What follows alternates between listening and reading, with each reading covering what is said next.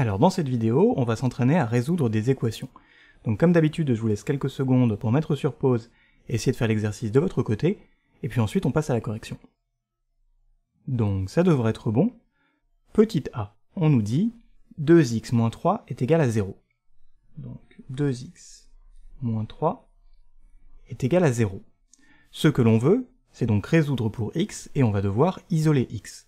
Donc on va d'abord faire passer le moins 3 de l'autre côté, le moins 3 va devenir plus 3, ça nous donne 2x est égal à 3, et ensuite pour isoler x complètement, eh bien on a 2 fois x, la multiplication devient une division en passant de l'autre côté, ça nous donne x est égal à 3 demi.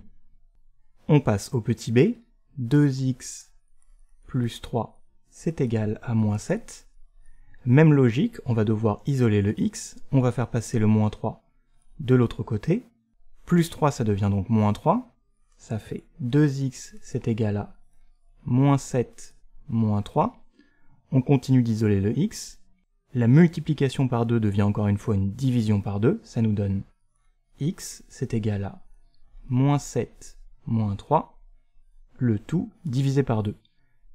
Moins 7 moins 3, c'est égal à moins 10. Toujours divisé par 2 moins 10 divisé par 2, c'est égal à moins 5. Et donc notre x pour le petit b est égal à moins 5. Et enfin, petit c, 8x plus 7 est égal à 10x moins 2. Ici on a 2x, donc on va faire passer tous les x du même côté.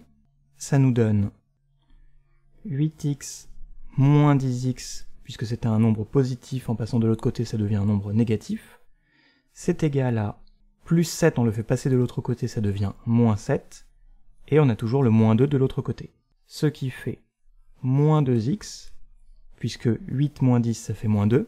C'est égal à moins 7 moins 2, c'est égal à moins 9. On va isoler le x, on a une multiplication par moins 2.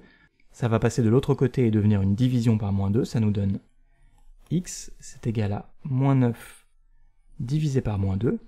On peut simplifier les moins puisqu'ils sont superflus, il y en a deux ça nous donne 9 divisé par 2, ce qui fait 4,5. Donc notre x est égal à 4,5. Et on en a terminé avec cet exercice. Donc j'espère que ça aura pu vous aider. Si c'est le cas, n'hésitez pas à laisser un j'aime et à vous abonner.